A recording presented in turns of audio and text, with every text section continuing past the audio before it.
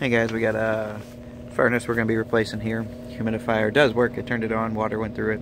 So we're going to keep that at this time. Currently got a PVC vented furnace in place. We're going to go back with the PVC vented furnace. From what you can see, it's got 3 inch. That noise is the fan motor. 3 inch PVC actually reduce it down to 2 before it goes through the roof. So we're probably going to end up doing everything in 2 inch. I'll put a note on there if we need to do anything different with the 3 inch. AC system is from 2010, so we're going to leave it as is. Safety pan is already here, but it's not going to be long enough because our furnace is actually going to be longer than the one that's there, so we're going to put in a new safety pan that's longer.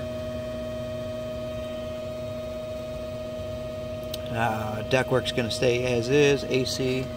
There's your drain lines that you'll be able to connect to. For everything. Now there is a light in the attic already. It's at the entrance to the attic. Now there's just not one back here. Uh, current, uh, we are going to do a media filter. So do a media filter. So we're going to have a furnace that's six inches longer, media filter, and then uh, your return box, which we got plenty of room back here to, to scoot everything back here. And as you can see, the current safety pan is not even long enough for the current furnace. So, new safety pan with a uh, safety switch inside of it. We'll get rid of this one. PVC drain goes down that way. Uh, they've never had an issue with having the PVC vented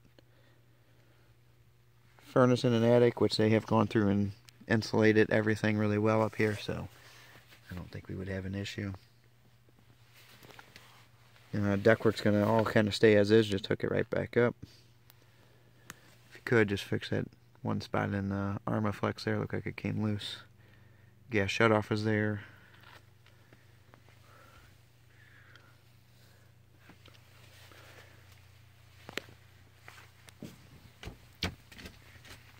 Electric comes in there and wraps around that way goes over that way.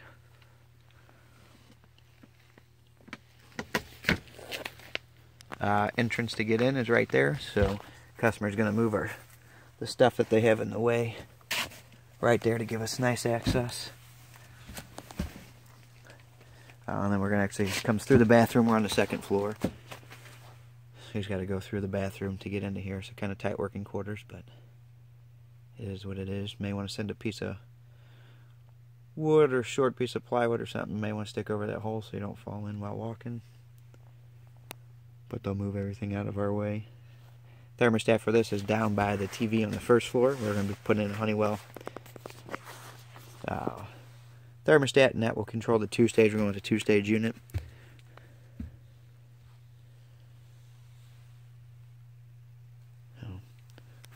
good luck.